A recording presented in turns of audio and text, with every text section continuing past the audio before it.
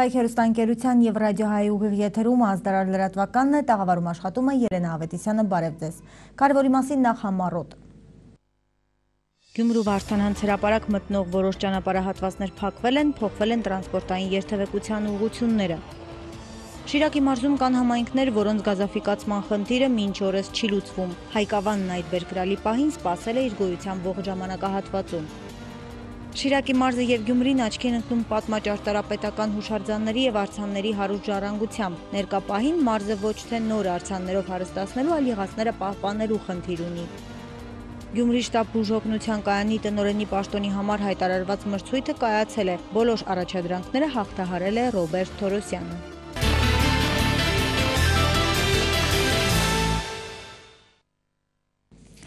Գյումրու Վարդանանց հրապարակ մտնող որոշ ճանապարհահատվածներ փակվել են, փոխվել են տրանսպորտային երթևեկության ուղությունները։ Սկսած մայիսի 11-ից երթևեկության համար ընտրվել է Վարպետաց փողոցը։ Փոփոխությունը ժամանակավոր է կապված իրականացվող փողոցաշինական աշխատանքների հետ։ Մայիսի 11-ի առավոտից դադարեցվել են շինարարական աշխատանքները Գարեգին Նժդե փողոցում։ Այդ հատվածում փորման աշխատանքները կվերսկսվեն այն ժամանակ, երբ քաղաքի մեկ այլ մասում ասֆալտապատումն ավարտվի եւ հնարավոր լինի երթևեկության նպատակահարմար կազմակերպել կազմակերպումը։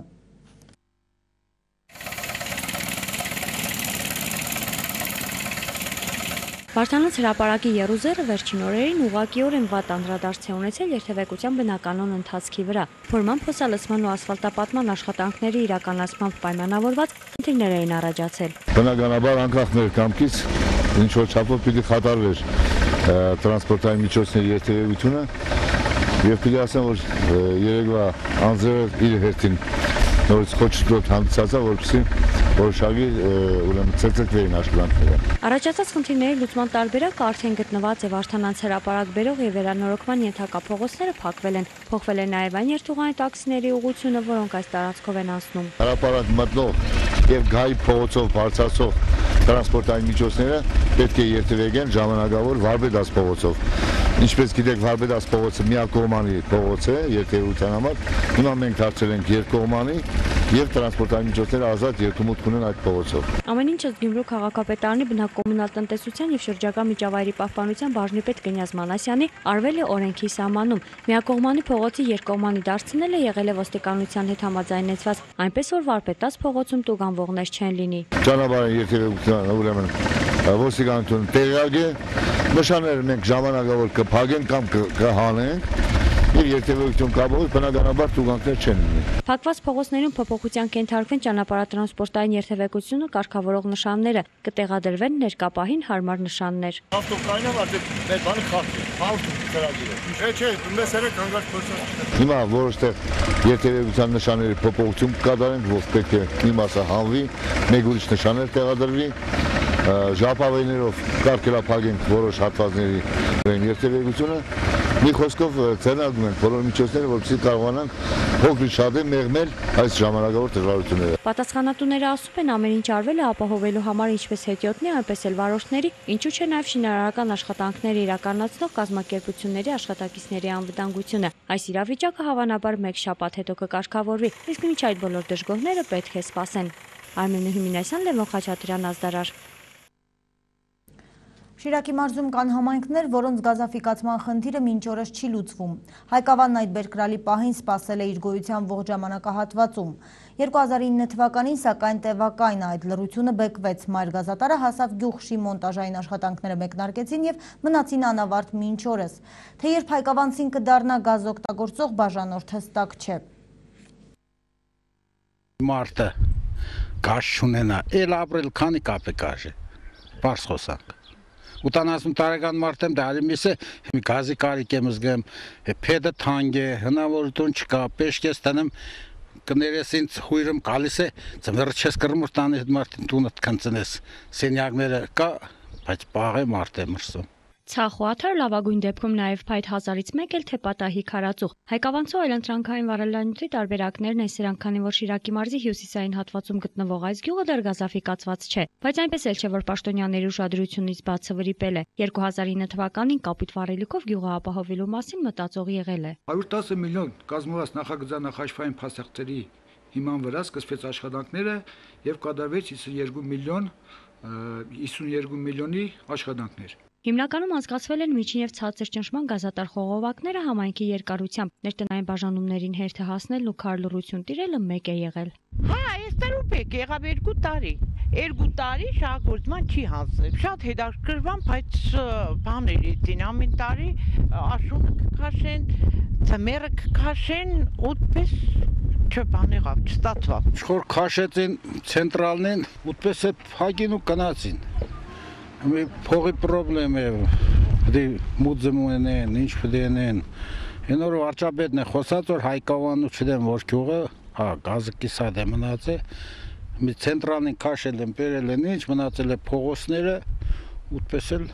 հնար չկա։ Շատ աբրի քաշողի արև է, բայց մեջը տարդագ է գազ չկա։ Դու գյուղապետին որ կսեն, գյուղապետը կսե։ Մի բան կանենք։ Թե ինչի համար խնդիրը չի լուծվում գյուղացիների մեծ մասը չգիտե այս մասով տարբեր կարծիքներ են գյուղում շրջանառվում։ Հայկավանցին համոզված է, որ իրենց գյուղի հարցը Տիկին Լիդանանյանը եթե շարունակեր ղեկավարել Շիրակի մարզը, ապա իրենք վաղուց գազ կունենային։ Բաներներ անպայման գազապիկացումը կերներ, ասիշյան։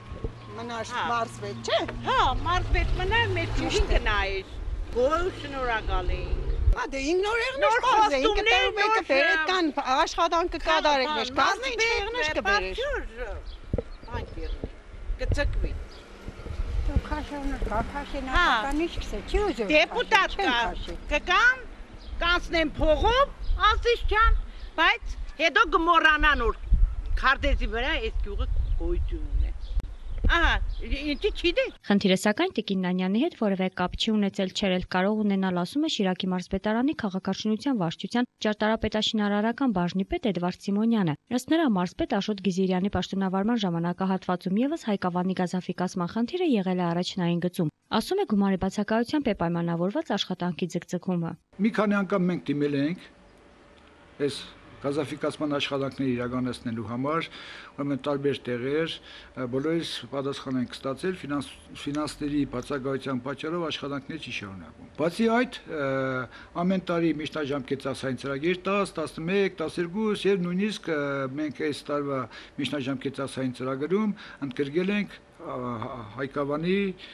գազաֆիկացման աշխատանքների ավարտման ծրագիրը։ Ընդամենը 6 միլիոն դրամի բացակայության պատճառով է, որ Հայկավանցին բնական գազ չունի։ Հաշվարկ կա կատարված, եթե բնակիչները ցանկանան դառնալ բաժանորդներ, ապա յուրաքանչյուրը պետք է պատրաստ լինի ներտնային միացման համար 300-ից 350 հազար դրամի ներդրում կատարելու։ Իսկ քանի դեռ նման գումար չեն կարողանա հատկացնել, պետք է սպասեն պետական աջակցության տրամադրմանը։ Հույս ունեմ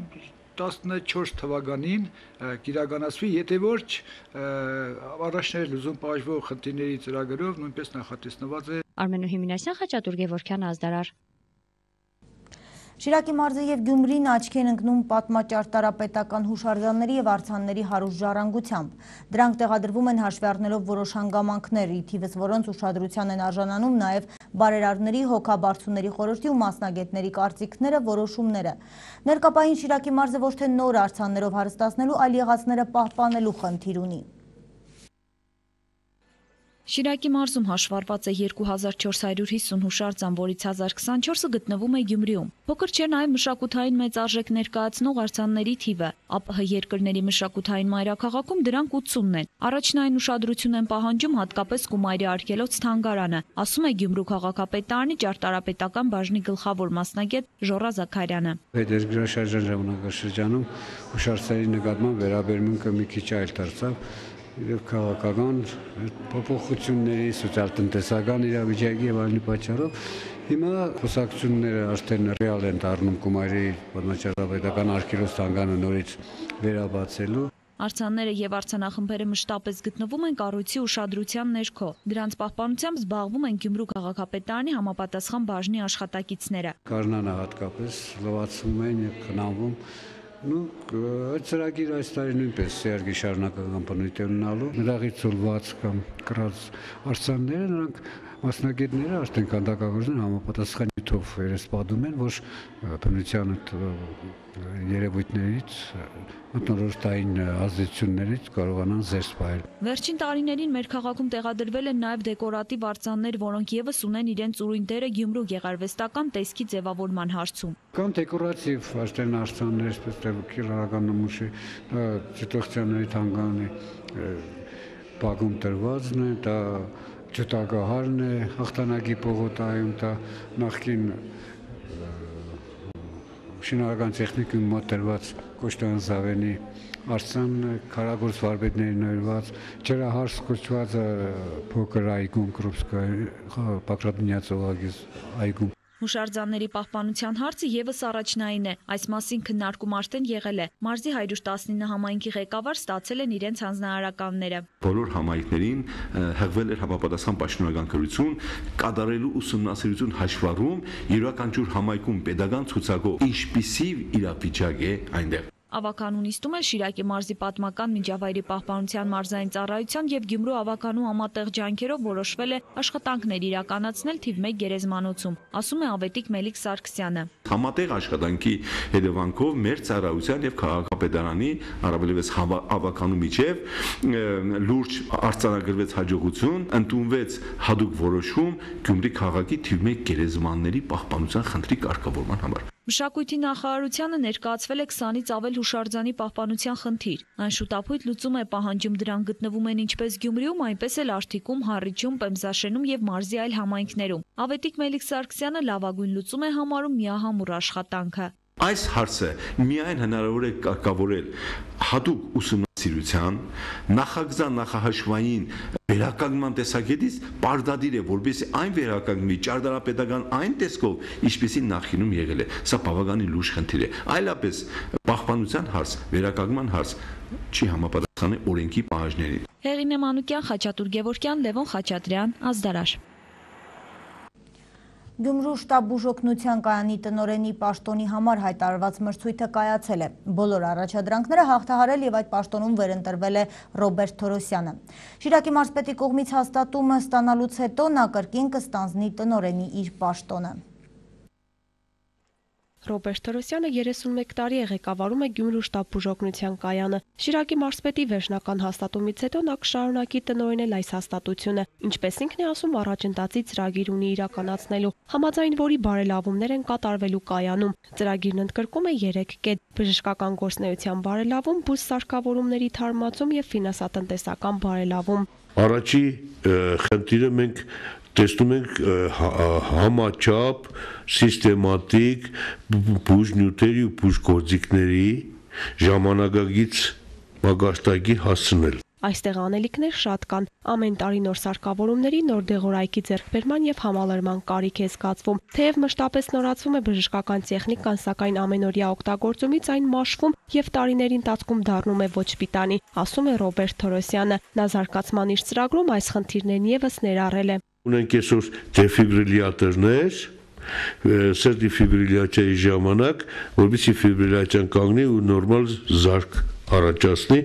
այդ դեֆիբրիլյատորները ունենք եւ ժամանակակիցը եւ ունենք երկու հատ, որոնք արդեն արդեն պետք է հարկավոր է փոխել։ Հաշվի առնելով այն հանգամանքը, որ բուժ սարքավորումների ժամանակակից լինելը կրկնակի հեշտացնում է բուժքույրերի եւ բժիշկների աշխատանքը, ինչպես նաեւ հիվանդին օգնելու արագությունն է կրկնապատկում, նախատեսում է տեխնիկայի թարմացում ունենալ ճշման չափիչ գործիքներ նորը, որակովը եւ այդ հին քրկրվածներով չաշխատել նաեւ էսթետիկ նշանակություն ունի։ Ունենք նաեւ 3 հատ գազել մագնիսի մեքենաներ, որոնք արդեն 10 տարեկան են։ Այդ ծրագրում ենք, որովհետեւ այդ մեքենաներն էլ թարմացվի, նորերը բերվի։ Բուժական նյութերից ու սարքավորումների թարմացումից զատ զարգացման ծրագրում նախատեսված է նաև բուժքույրերի բժիշկների եւ վարորդների վերապատրաստում։ Նոր ծրագրի շնորհիվ վարորդները վերապատրաստվում են, քանի որ համարվում են սանիտարներ եւ կանչերի ժամանակ օգնում են բուժքույրերին։ Բուժքույրերը պետք է ունենան վերջին 5 տարում 5 շաբաթյա վերապատրաստում անցած լինելը հավաստող փաստաթուղթ, որպեսզի իրավունք ունենան հետագայում աշխատելու, իսկ բժիշկները 7 շաբաթյա ծրագրում ենք, որպեսզի այդ վերապատրաստումները չլինի նրա համար, որ վերապատրաստված են, փաստաթուղթ չլինի, այլ լինի ավելի շատ տրեյնինգային, այսինքն նա պիտի գնա ոչ թե կարտա, գնա պատասխանի, ավելի լավ է, որ նա գործ անի, մեկը անի, հետո ինքը անի, այսինքն սովորեցնի գործը։ Սա շատ ավելի կարևոր է։ Նոր տեխնիկա կա, որին մենք տեղյակ չենք։ Մեր ազնակազմը արդեն միջին տարիքի ենք հաշիվում նոր կադրերի կարիք ունենք, դրանց անպայման վերապատրաստում է պետք։ Կոգնի որպեսի կարողանա գիտելիքները հմտորեն կիրառել, կարողանա ծանոթ լինի,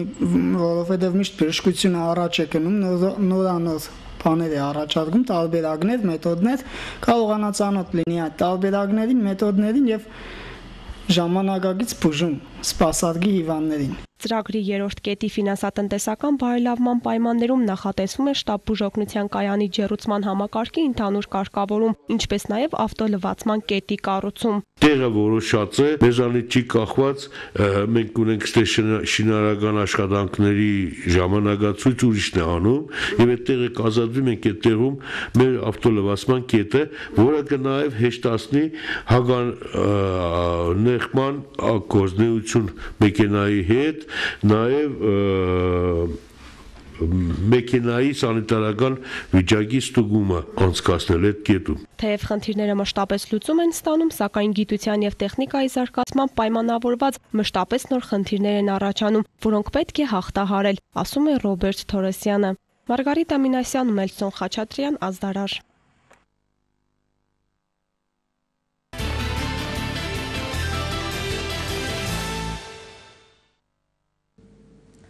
Չնայած մայիսի 5-ին Երևանի ավագան ընտրություններին մինչև հունիս ուժի մեջ են Երևանի հին 2009 թվականին ընտրված ավագանու լիազորությունները։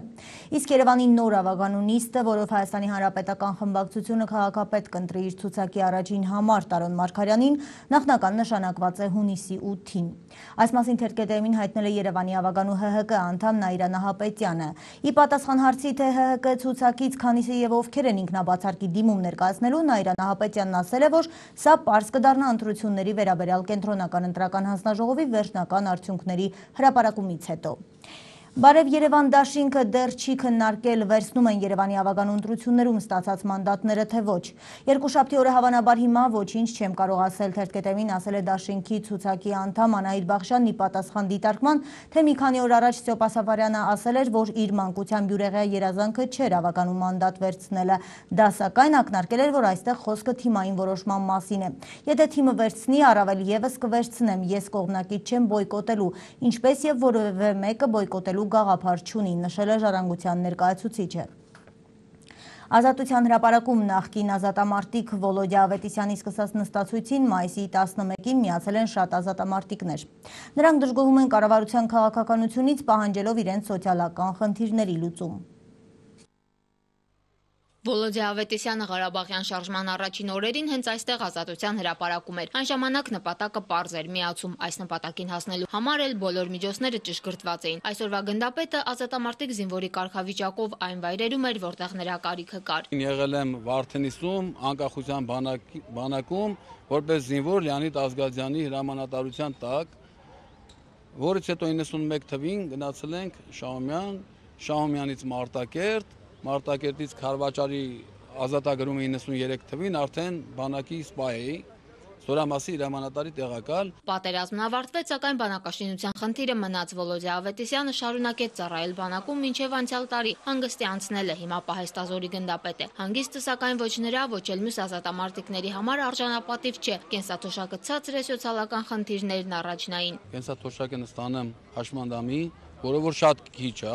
40000-ից ըստ կարգի մինչև 60-70 հազար, որը որ չի բավարարեմ ապրելու համար։ Դրա համար այս ակցիան կազմակերպել ենք ուղակի, որպեսի կառավարությունը իմանա, որ խնդիր ունեն ազատամարտիկները, որ պատերազմը դեռ չի ավարտել, պատերազմը լինելու են, քանի մարդկությունը կա, իսկ մենք օրինակներն ենք մեր սերունդների, որը կրված ազատամարտիկները ինչպես են ապրում, ոնց է իրենց վիճակը։ Սոցիալական խնդիրները լուծելու տարբերակը ըստ նախկին ազատամարտիկին նստածույցն է։ Պահանջները երկուշաբթի կներկայացնեն կառավարությանը։ Դրանք ազատամարտիկները հստակեցրել են վերանել սոցիալական երաշխիքները, ծնծառայողների կենսաթոշակի հաշվարկման կարգը։ Սուրեն Մինասյանը 50-ն անց էր երբ մեկնեց Ղարաբաղ։ Հիմա ասում է, իրեն գումար պետք չէ, ցանկանում է ընտանիքին օգտակար լինել, սակայն ավելի ցավալին կառավարության անտարբերությունն է, հենց դրանից էլ վիրավորված է։ Մեր նամուսը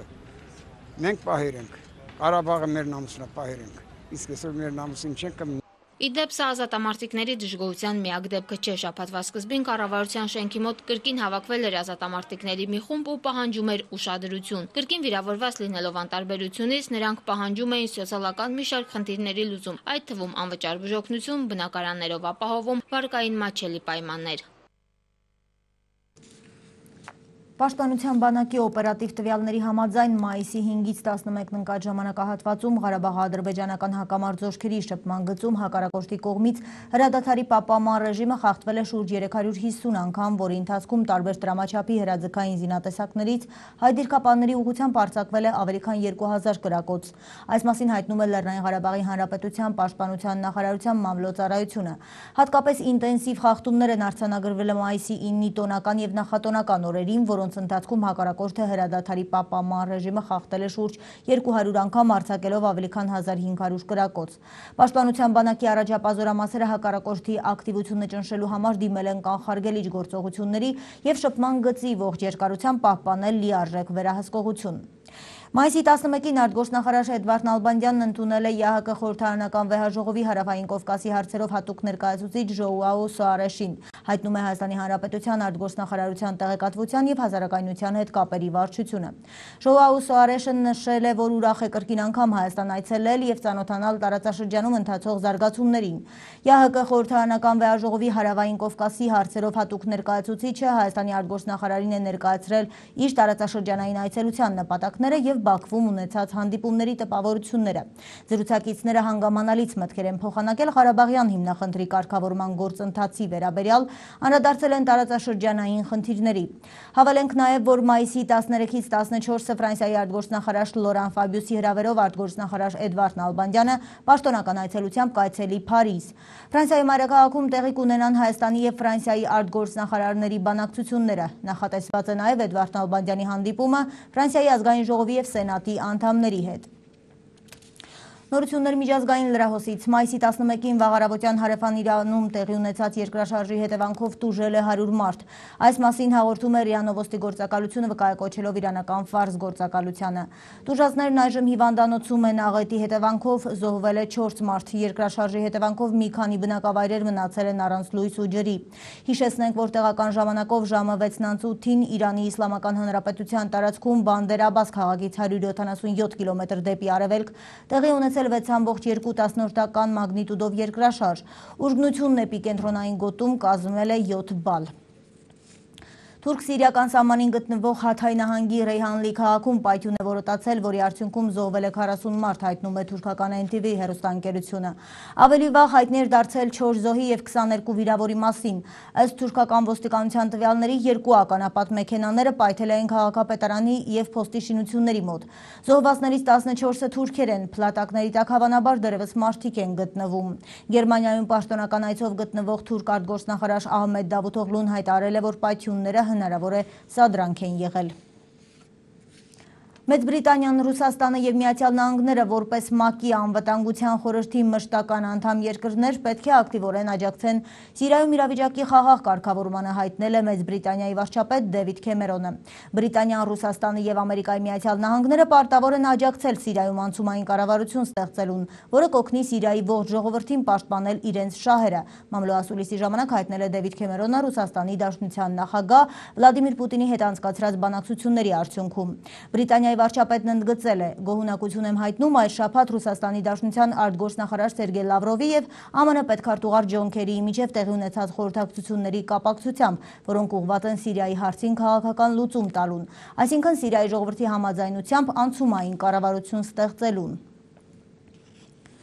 Միացյալ Նահանգների նախագահ Բարակ Օբամայի վարչակազմը դիմել է երկրի Գերագույն դատարան հայոց ցեղասպանության գործը չքննարկելու պահանջով։ Գերագույն դատարան ներկայացված 27 էջանոց սեղմագրում նշվում է, թե Կալիֆոռնիայի օրենքը սխալմամբ դատարաններին թույլ է տալիս եզրակացություններ անել, հիմնված քաղաքական վիճելի հարցերի վրա, որոնք Օսմանյան կայսրությունում տեղի են ունեցել գրեթե 100 տարի առաջ։ Ամերիկայի հայդատի հանձնախմբի համաձայն նախագահ Օբաման Թուրքիայի վարչապետ Էրդողանի Վաշինգտոն այցի նախորդին որոշել է քաղաքական նվեր մատուցել Անկարային խորացնելով իր վարչակազմի վարչակազմի մեղսակցությունը հայոց ցեղասպանության շղթման հարցում, խոչընդոտելով ամերիկյան քաղաքացիների համար արդարադատությանը, որոնք ձգտում են փոխհատուցում ստանալ ԱՄՆ դատարանների միջոցով։ Պակիստանում անցկացվել են խորհրդարանական ընտրություններ, միաժամանակ երկրում որոտացել են մի քանի պայթյուններ։ Պակիստանում կայացած խորհրդարանական ընտրություններին զուգահեռ 4 պայթյուն է իրականացրել։ Հերթական ահաբեկչությունը տեղի է ունեցել Կարաչի քաղաքում գտնվող ընտրատեղամասի մոտակայքում։ Պայթեցվել է ականապատ ավտոմեքենա, տուժել է 5 մարդ։ Պակիստանցի ծայրահեղականները խոստացել էին շարունակել ահաբեկել ընտրողներին։ Առաջին պայթյունը տեղի էր ունեցել Կարաչիում, ողբերգության հետևանքով մահացել էր 10 մարդ։ Երկրորդ ահաբեկչությունը մահապարտ ահաբեկիչն իրականացրել էր կանանց համար նախատեսված ընտրատեղամասում։ 50-ից ավելի մարդիկ տարբեր աստիճանի վնասվածքներ են ստացել ահաբեկչությունների հետևանքով։ Տեղի ոստիկանությունը նշում է, որ ահաբեկիչների թիրախում եղել է Պակիստանի ազգային կուսակցության տեխնացուներից մեկը՝ Զահիդ Խանին։ Տեխնացուն չի դուժել, սակայն պայթյունի ալիքը կոտրել է մոտակայքում գտնվող շինությունների պատուհանների ապակիները, իսկ 8 խանութ ամբողջությամբ փլուզվել է։ Ահաբեկչության իրականացման պատասխանատվությունն իր վրա է վերցրել Թալիբան շարժումը, որի ներկայացուցիչն ընդգծել է, որ իրենք շարունակելու են նույն ոճով։ Տեղի ունեցածը վախի մտնոլորտ է առաջացրել բնակիչների շրջանում, ովքեր չեն ցանկանում տանից դուրս գալ եւ ընտրություններին մասնակցել։ Ծայրահեղական ահաբեկչական խմբավորումները նախապես զգուշացրել էին, որ թույլ չեն տա, որպես ընտրությունները տեղի ունենան։ Խորհրդարանական ընտրությունները կարելի է պախտորոշ անվանել, քանի որ դրանք կարող են երկրի պատմության մեջ առաջինը լինել, որից հետո հին կառավարությունը խաղաղ ճանապարհով իշխանությունը կփոխանցի նոր կառավարությանը։ Ընտրությունների գլխավոր ֆավորիտներն են Պակիստանի Իսլամական լիգան եւ Պակիստանի ազգային կուսակցությունը։ Սոցհարցումների արդյունքները վկայում են, որ ընտրողների մեծ մասը պատրաստվում է իր ձայնը տալ Պակիստանի Իսլամական լիգա կուսակցությանը։ Ընդհանուր առմամբ խորհրդարանում կա 272 տեղ, որից 70-ը հատկացված է կանանց եւ ոչ իսլամական փոքրամասնությունների համար։ Նարա Մելքոնյան, Ազդարար Ամերիկայի Միացյալ Նահանգների միջուկային ավիակիրը ժամանել է Պուսան քաղաքի նավահանգիստ Հարավային Կորեայի եւ Միացյալ Նահանգների երրորդյա համատեղ ռազմածովային զորավարժություններին մասնակցելու համար։ Դեղին ծովում իրականացվելիք զորավարժությունների հիմնական նպատակն է ռազմական պատրաստվածության, ինչպես նաեւ երկու դաշնակիցների միջև փոխհամագործակցության մակարդակի բարձրացումը։ Ավելի վաղ Հյուսիսային Կորեան կրկին դիմել է ռազմաշունչ հրետորաբանությանը Ամերիկայի Միացյալ Նահանգների եւ Հարավային Կորեայի համատեղ զորավարժությունների կապակցությամբ։ Մասնավորապես երկրի իշխանությունները հրամայել են զորքերը բերել ռազմական պատրաստվածության, որպիսի անհրաժեշտության դեպքում դեղին ծովում գտնվող 5 հարավկորեական կղզիները վերածեն կրակի ծովի։ Գվատեմալայի նախկին առաջնորդը դատապարտվել է 80 տարվա ազատազրկման, դա դատարանը նրան մեղավոր է ճանաչել առնվազն 1770 հնդկացիներ, այդ թվում կանանց, երեխաների եւ ծերերի սպանությունների, մի քանի հազար անչափահաս աղջիկների բռնաբարության համար։ 87-ամյա նախկին միապետն հրաժարվել է ընդունել իր մեղքը։ Վատեմալայի նախկին առաջնորդ Խոսե Էֆրայն Ռիոս Մոնտո, ով երկիրը ղեկավարել է 1982-ից 83 թվականներին, դատապարտվել է 80 տարվա ազատազրկման։ Դատավճիռը բաղկացած է երկու մասից։ 50 տարվա ազատազրկումը Գվատեմալայի նախկին առաջնորդը ստացել է երկրի հնդիկ բնակչության ցեղասպանության, իսկ 30 տարին ռազմական հանցագործության համար։ Մոնտն այժմ 87 տարեկան է, դատարանը նրան մեղավոր է ճանաչել առնվազն 1770 մարդկանց, այդ թվում կանանց, երեխաների եւ ծերերի սպանությունների, մի քանի հազար անչափահաս աղջիկների բռնաբարության մեջ, ովքեր եղել են Գվատեմալայի բնիկներ։ Հետաքննությունն ապացուցել է, որ քաղաքացիական պատերազմի տարիներին կառավար կառավարական բանակը բոլոր քայլերն իրականացրել է Մոնտիի հրամանով։ 87-ամյա նախկին միապետը հրաժարվել է ընդունել իր մեղքը, հայտարարելով, որ այդ հանցագործությունների մասին ոչինչ չի իմացել եւ դրանք տեղի են ունեցել ռազմական հրամանատարների հրամաններով։ Նա իշխանության է եկել ռազմական հեղափոխությունից հետո 1982 թվականին եւ պաշտոնավարել ընդամենը 17 ամիս։